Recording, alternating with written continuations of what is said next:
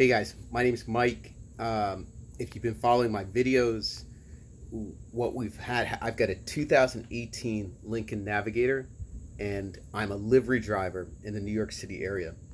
Uh, back when I had 85,000 miles on my car, on my Navigator, and this has a second generation EcoBoost engine in it, uh, three and a half liter. It's the same engine as is in the Ford Raptor. Um, you know, my, what happened was I started to have that cold start rattle around 85,000 miles. I took it into the dealership. It took over a month to repair. Back ordered parts. They had to have a special technician, etc., etc. It took over a month to repair. And two repair tries. And I'm going to be taking it in again because there's another little noise. So it'll be the third repair try. So the purpose of this video is everyone asks what kind of oil to use for the EcoBoost engine. You've got a couple different choices. Now, you're going to have to change it out uh, every 4,500 miles. And one of the oils I saw, uh, which is very top quality, it resists fuel dilution, uh, which strips away the, the viscosity. Uh, people say it's shear. It's not shear. It's fuel dilution, and that's what the EcoBoost engine is doing. It's diluting your oil, and it's kicking back the vis viscosity, and that's what's going on. Uh, so one way is to change the oil every 4,500 miles. That's one way to do it, and you use a high quality one as, as Valvoline Full Synthetic Max Life.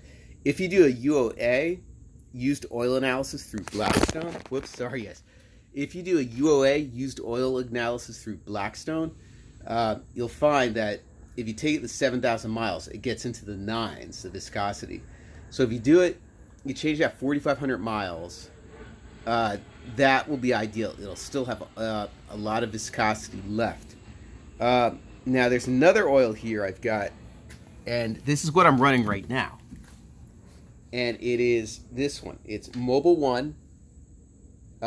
Turbo diesel truck, uh, 5W40. Mobil One turbo diesel truck, 5W40.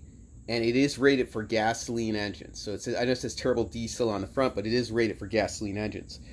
Um, since I've been running this oil, my engine is so smooth and quiet.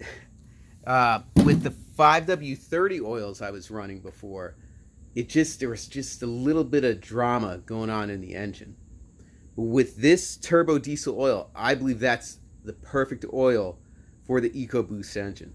And that's what I'm running right now. 5W40 uh, and the, these uh, HD EOS heavy duty um, engine oils designed for diesel engines. Uh, this one is also designed for gasoline engines. It's got an API rating SN, API SN. This is perfect uh, for fuel diluters. I'm running it right now, and it's crazy how quiet the engine is. So if you're asking me what is the what is the well what is the best oil out there, it's going to be this Mobil One turbo diesel uh, gas truck, uh, 5W40. Now, if you want the best uh, oil for you know warranty purposes and stuff, I say with Valvoline Full Synthetic Max Life, changing it out at 4,500 miles.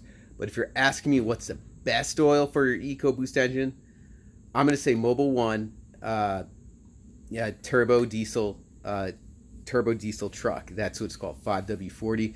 It's also, if you got a turbo Subaru, that's probably be the best one too. I know a lot of you guys use that Rotella T6, uh, but that's not really designed for cars, and you know it's not really designed for gasoline engines. This one is. It's designed for both gasoline engines and diesel. It's available at Walmart. It's a little bit more expensive than the Rotella uh, T6 5W40, but this one is designed for both uh, gasoline engines and uh, and diesels.